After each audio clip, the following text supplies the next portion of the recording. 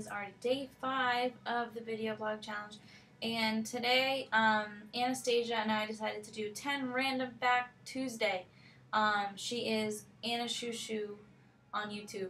But um, we decided to do this for Tuesday. So, um, some of these you probably already know, uh, little facts. But, um, so I just have a couple. So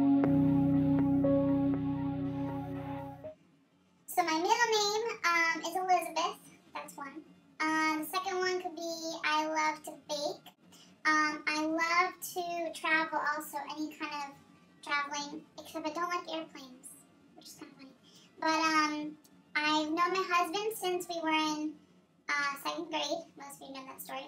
Um, I played lacrosse in high school, which I probably don't look like a lacrosse player. And my favorite ice cream is mint chocolate chip. Woohoo!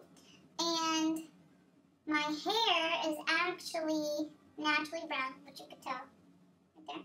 And it's actually kind of wavy, but I straighten it naturally. Um, I was born in New York. That's fun fact. And another fun fact, number nine, I think it is. Um, I really like to play the keyboard, even though I'm horrible at it, and I need lessons.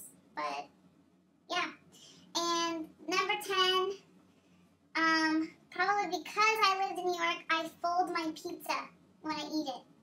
So that's random. Goes random fact Tuesday. All right, well it.